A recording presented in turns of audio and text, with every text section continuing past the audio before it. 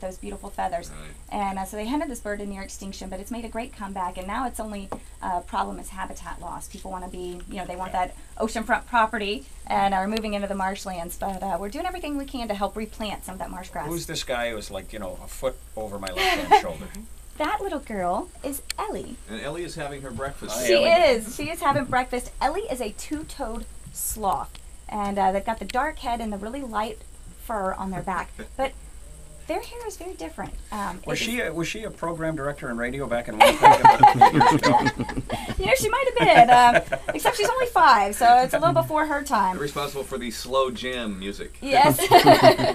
and Does she really move slow. as slowly as I Yes. think? You know, the picture in my head is pretty like- much the slowest mammal It's in the kind of world. like Terry Um, Marshall Yeah, going I to the have a bathroom. ten-toed sloth at home down Brooks. In fact, Pretty slow sloths- a time. Sloths like Ellie here. This is a two-toed sloth, and uh, it is found in the rainforest there in Central and South America. But they do move extremely slow. In fact, they'll usually only make use of one tree their entire lifetime. Don't they stay in the tree for like a month and come down once a month? Is, that am I right? Uh, usually more like once a week, a little more regular than that.